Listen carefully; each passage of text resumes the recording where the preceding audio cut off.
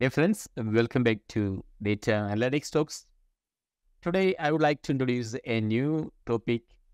When I was thinking about a new topic, that came to my mind is data modeler. To be precise, how to become a data modeler.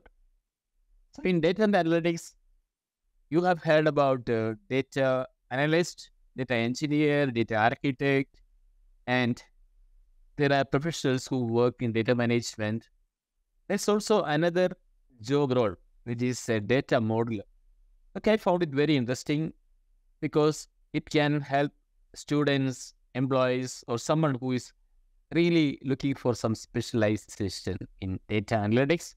Data modeling is one of the important area that we can concentrate and do lot. In this playlist, I will be focusing on journey towards a data modeler, which includes data, data model, data modeling, and the responsibility of a data modeler and the experience required for a data modeler. Of course, we have to talk about some of the data modeling tools.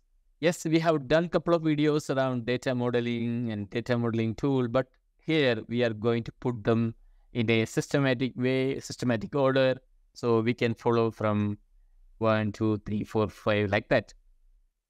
I'm sure this also will give me a lot of knowledge as I am exploring more on data modeling and trying to make uh, this playlist. Let's travel together, and this is a journey towards a data modeler.